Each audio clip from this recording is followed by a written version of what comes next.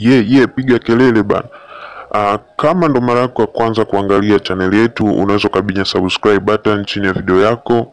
Uh, na leo tutakuwa tuna uchambuzi kidogo wa ngoma ya video uh, pamoja na kwamba na hayo hatutaweka full video ama hatutaweka sound yoyote inayotoka kwenye video, bali tutaweka baadhi ya screenshot ili tuweze kuchambua uh, baadhi ya vitu ambavyo labda vimekosewa kidogo na director ama vitu ambavyo vimefanywa na msanii, wala sio lengo la kukosoa, bali ni lengo la kujulishana na kuwekana wazi. Kama kuna sehemu msanii atakuwa kazingua, basi tunamchana, ila tumaanishe ya kwamba sisi ni haters. Hapana, tunafanya kwa nia nzuri tu, nia ya kuwafanya watazamaji wengi wa videos waweze kufahamu maudhui ya uwepo wa kitu katika video.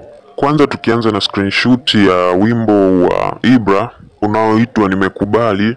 Ni wimbo fulani ambao umekaa ki mahaba mahaba, lakini pia ni wimbo ambao unabembeleza sometimes, lakini pia ni wimbo ambao unaelezea hisia za mtu ambaye amechoshwa na mapenzi ya aina fulani. Kwa hiyo amekubali mpenzi wake aende, huenda akapata faraja ama neema nyingine.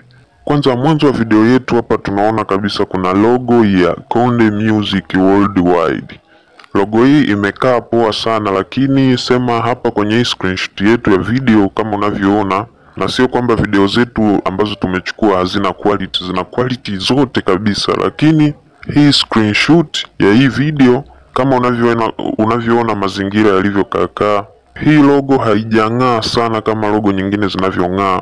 Ni kwa sababu ukitaka kuangalia background ya logo hii utaweza kuona kuna giza giza, lakini giza hilo halijaweza kuweka mchango mkubwa kwa logo hii kung'aa. Lakini pia ukiangalia kwa juu utaweza kuona focus ya mpiga picha ama ambaye alikuwa anachukua video hii, alisimama kwenye position ambayo jua lilikuwa kwa mbele. Kwa hiyo hili ni kosa la director. Kosa la kwanza, ameshindwa kutambua engo ipi ni sahihi ya yeye kuweza kuchukua video, hivyo kuna jua lina.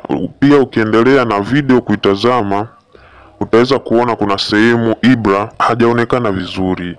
Hii niseme ukweli, kwa sababu na engo aliyokuwa amesimama mchukua picha kama unavyoona juu ya kichwa chake hapo, basi jua limeweza kumulika sana kiasi kwamba anatupa nafasi ya sisi wakosoaji kuweza kukosoa. Hivyo director, siku nyingine hakikisha unakuwa makini, sababu vitu vidogo vidogo kama hivi vinaweza vikachangia video nzima isionekane nzuri na yenye ubora, kwa sababu kuna kuwaga na tuzo za video bora, ukiachana na tuzo za msanii bora na nyimbo bora.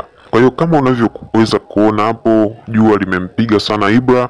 Hilo sio kosa la Ibra au tuseme watu wengine ambao wanamsimamia, ila ni kosa la director. Ameweza kusimama kwenye engo ambayo iko wrong, jua liko kwa mbele, alafu anachukua picha kwa nyuma. Hii inafanya ile quality isionekane, lakini sio mbaya wala sio kesi. Huu ndo mwanzo, tunategemea video nyingine zitakuwa bomu ama zitakuwa nzuri sana, yani zitabamba, zitakuwa boom boom.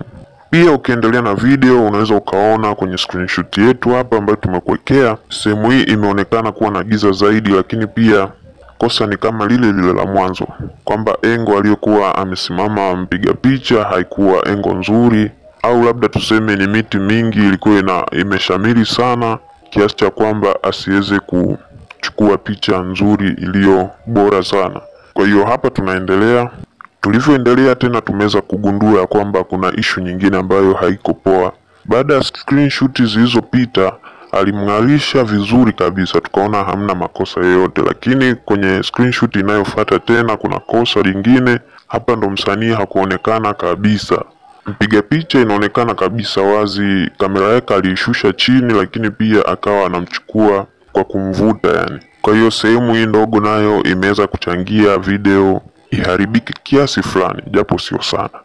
Pia tukija kwenye screenshot nyingine ya video ambayo tumeweza kuichambua, utaweza tena kugundua tatizo ni giza na focus ya mchukua picha imekuwa ni tatizo kidogo, lakini msanii wetu Ibra ameonyesha kujiamini na kile anachokiimba, lakini ishu ni kwamba hiyo maiki hapo ilitakiwa tuweze kuona na vitu vingine, labda tuone na spika kwa pembeni, au labda tuone na kitu ambacho kitafanya tuamini sauti inatokea kwa hivyo vitu jinsi anavyoimba. Hayo ni mawazo yangu, sijui ni mawazo ya wote au vipi, lakini pia ukiangalia wameweka tu uhalisia wa maiki, lakini sio maiki yenyewe, lakini haina tatizo. Wanajaribu kuonyeshea kwamba huu ndo mfano, lakini sasa kwenye eneo kama hili kuna miti miti na majani, na maana jamaa yetu aliona kwenda kuperform nyimbo yake live mbele ya miti na majani. Kwa hiyo haina tatizo, hilo ni wazo zuri.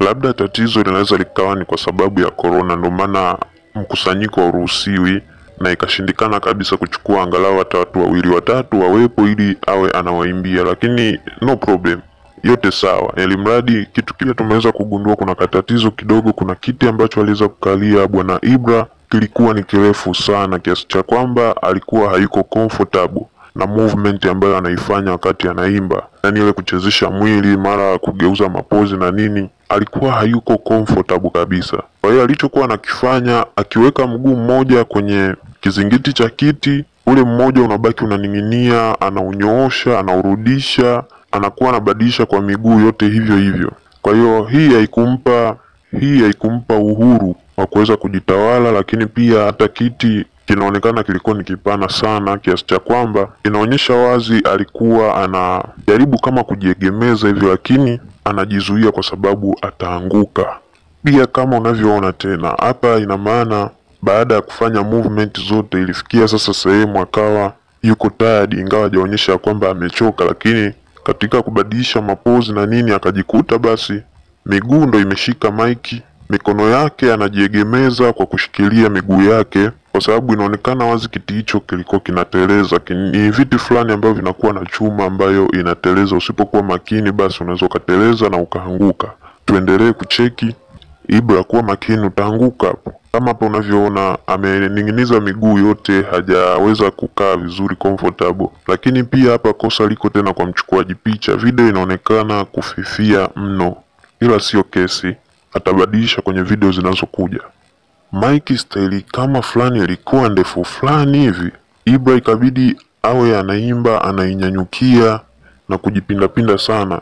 Sasa hili ni tatizo. Director hapa ilibidi amweke free msanii ajisikie huru ajitawale, ila sio kesi. Ili mradi video imeisha, tumeshatazama, sasa tunabaki kuchambua. Hapa tena kosa la mpiga picha limekuwa ni la kujirudia la focus. Mbele jua linapiga, anachukua picha mbele ya jua, msanii wetu hatuwezi kumwona vizuri. Pia na miguu kama kawa amening'iniza. Aa, usije ukasema ni video nyingine, ni ile ile ya Ibra. Lakini hapa kama unavyoona kosa lenyewe la mchukua picha, lakini pia hata alivyoenda kuedit video, basi ametuwekea na kipande hichi ambacho kinaonyesha kuna giza kinyama nyama, yaani hapo hapo tunaona kuna mchana na usiku ndani yake. Kwa hiyo hii director hakuwa nayo makini kabisa. Yeye alitaka amalize kazi yake, achukue chapaa atembee. Hila tumaanishi ya kwamba tumemind kazi ama tumeichukia. Kazi ni nzuri, kwa sababu dhamira yetu tumuone Ibra na tumeshamuona, ila kuna mapungufu kiasi ambacho director ilitakiwa awe makini nayo ili kuifanya video ipendeze zaidi, kwa sababu haya ni maeneo ya msituni, walau hata tupate basi hata tuzo ya video bora ambayo inahamasisha utalii na utunzaji wa mazingira, ila sio kesi, mradi tumeshatazama na tumeipenda. Kama kawaida tena, sura hapa ijaonekana, bali jua limeonekana zaidi. Ina maana hii itakuwa Ibra featuring jua, ama tunasema Ibra na jua, au hapa alitaka atengeneze video fulani ya kutisha, ni kwamba mtu anaimba afu mwanga unatokea mdomoni. Ayayaya, director kuwa makini.